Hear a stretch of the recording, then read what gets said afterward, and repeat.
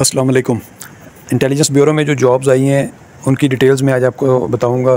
तो ये भी बताऊँगा कि आपने अप्लाई कैसे करना है और कौन कौन सी कितनी कितनी सीटें हैं।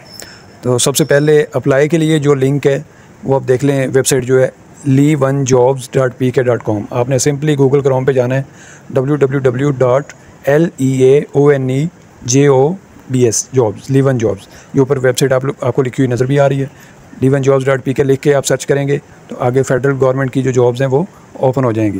तो उसमें सबसे पहले आप ये देखें कि टेक्नीशियन की बी एस फोर्टीन की, यानी कि फोर्टीन स्केल की जॉब्स जो हैं, वो चार उसकी सीटें हैं। उसके बाद डाटा एंट्री ऑपरेटर की चौदहवें स्केल की पाँच सीटें हैं स्टेनोटाइपिस्ट की चौदहवें स्केल की सताईस सीटें हैं, और जी डी बी एस ग्यारह की, ये चौंतीस सीटें हैं thirty four O M B S ग्यारह की चौबीस सीटें हैं। अब ये जी डी जो बी एस एलेवन है, ये ए एस आई होता है। ए एस आई ग्यारहवें स्केल का। उसके बाद ओ एम ये सीनियर क्लर्क को कहते हैं। ये भी ग्यारहवें स्केल के, इसकी चौबीस सीटें हैं। टेक्नीशियन आगे उसकी बाईस सीटें हैं, ग्यारहवें स्केल की हैं। डार्क रूम असिस्टेंट ये भी ग्यारहवें स्केल के, इसकी एक सीट है। फिर लेबॉर्ट्री असिस्टेंट ग्यारहवें स्केल की, इसकी एक सीट है। और ऑटो इलेक्ट्रिशन ग्यारहवें स्केल की, इसकी भी एक सीट है। फिर G D B S seven यानी कि कांस्टेबल जो है, इसकी दो सौ सात सीटें हैं। O M B S seven ये जूनियर क्लर्क होता है, इसकी नौ सीटें हैं स्टाफ का ड्राइवर चौथे स्केल का सात सीटें हैं, नायब कासद जो है, ये इसकी तेरह सीटें हैं पहले स्केल की, और बेजती जो है, इसकी एक सीट है पहले स्केल की। तो ये सारी डिटेल्स थी। अच्छा उसके बाद आपने लीवन जॉब्स को जब ओपन करने अप्लाई करने के लिए तो सिंपली आपने अप्लाई फॉर जॉब के लिए इस पर क्लिक करना है।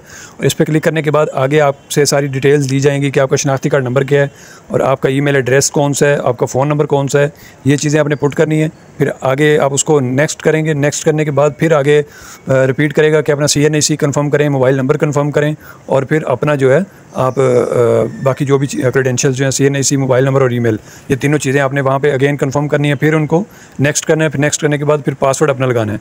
पासवर्ड में एक लेटर कैपिटल हो, एक स्मॉल हो और नंबर हो, ये मिक्स आपने पासवर्ड लगाना है। दूसरी बात ये याद रखनी है नंबर लिखते हुए नाइन टू से स्टार्ट करना है ज़ीरो नहीं लगाना। तो दोनों जगह पे कंफर्मेशन के लिए आपने सेम डिटेल्स डालनी है। उसके बाद आप नेक्स्ट करेंगे तो आपका पासवर्ड लग के सारा कुछ कन्फर्म हो जाएगा। फिर आपने उसको लॉगिन कर लेना है। लॉगिन करने के बाद आप जो है उस पर आप अपनी बाकी सारी डिटेल्स एकेडमिक डॉक्यूमेंट्स जो हैं, अपने फादर नेम वगैरह और सारी चीज़ें आप डालेंगे तो आपका प्रोफ़ाइल बन जाएगा कंप्लीट हो जाएगा। फिर आप जॉब्स के ऊपर आप क्लिक करेंगे, वहाँ पे अपने आपका जो पोर्टल बनेगा तो इस तरह जो इंटरफेस आपके सामने इस टाइम शो हो रहा है, इसी तरह का इंटरफेस आपके सामने शो हो जाएगा। तो आपने अपनी जॉब मतलब अपने क्वालिफिकेशन के अकॉर्डिंग जॉब में जो है, जो भी सूट करती होगी, उस पर आप अप्लाई कर सकते हैं। कोई इसकी बैंक फ़ीस नहीं है, और आप जितनी मर्ज़ी सीटों पे अप्लाई करें, जितनी सीटों पे आप आपका क्राइटेरिया मैच करता है। मैं रिकमेंड करूँगा कि सिर्फ़ उन्हीं सीटों पर अप्लाई करें, और किसी पर करने की ज़रूरत नहीं है। मज़ीद अगर आपका कोई क्वेश्चन हो तो आप कमेंट बॉक्स में हमारे साथ रब्ता कर सकते हैं। अप्लाई के लिए अगर आपको हमारी खिदमत दरकार है तो आप फिर भी हमारे साथ कमेंट बॉक्स में रब्ता कर सकते हैं। और अगर आपको वीडियो अच्छी लगी है तो वीडियो को ज़रूर लाइक करें।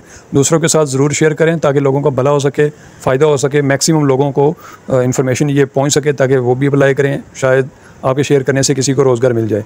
तो आखिर में आपसे गुजारिश है कि अगर आप हमारे चैनल पे नए हैं तो हमारे चैनल को ज़रूर सब्सक्राइब करें बेल आइकन को ज़रूर दबाएँ ताकि हमारी हर नई आने वाली इन्फॉर्मेटिव वीडियो आप तक पहुँच सके। अल्लाह हाफिज़।